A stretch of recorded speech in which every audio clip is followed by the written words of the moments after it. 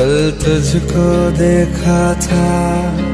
मैंने अपने आँगन में जैसे कह रही थी तुम, मुझे बाँध लो बंधन में।